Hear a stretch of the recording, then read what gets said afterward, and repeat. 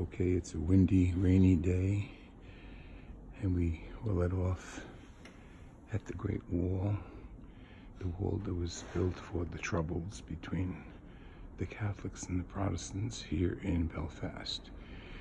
We walked to the steeple and we came into the church of St. Paul, Redemptorist parish here in Belfast, needless to say, in the Catholic side. You can hear the wind blowing outside. We were blown into the church. It's very beautiful. Sort of Gothic in architecture. Clean, beautiful tile floors. The sanctuary is lit up beautiful purple light. Christ in glory with St. Paul and the Blessed Mother. Here we are approaching beautiful marble architecture. This is the Clonard Church Centenary Guide.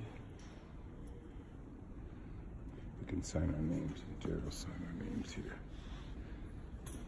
And we wrote on the peace wall, peace from Louis and Jerry. Stations of the Cross.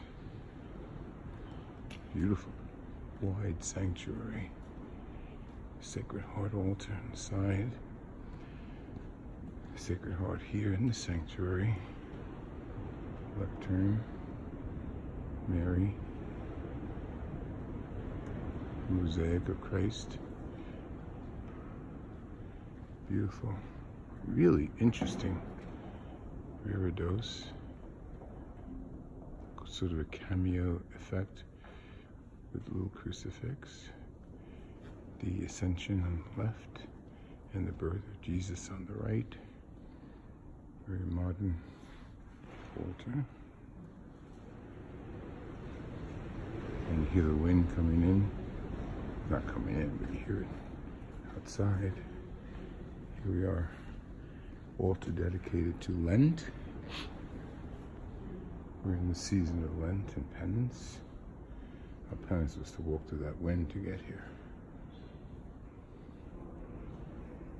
Holy water. See what this other thing is over here.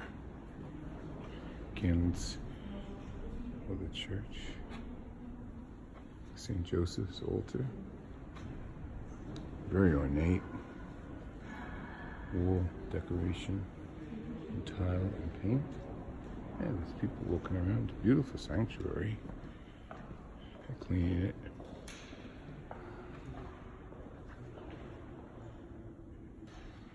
Now we'll walk around. Interesting location for the AMBO. Right here, I guess it reaches people rather than being on the side. They're cleaning up. Here we are on the side altar, dedicated to Our Lady of Perpetual Help, of course, patron of the Redemptorists.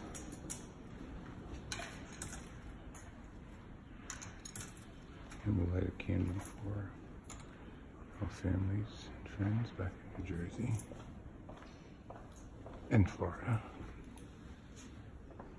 I guess this is their version of the cry room or weekday chapel. St. Teresa of Lisieux. Very beautiful church. Mosaics, oof.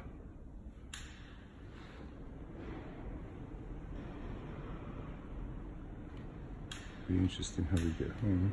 Or back to the hotel from here.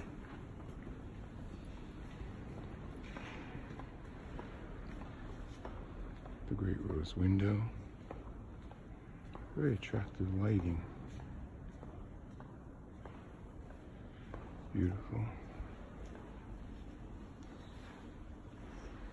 And now we'll sit and pray for a few moments before we take on the weather and our trip back to Wellington Park Hotel in Belfast.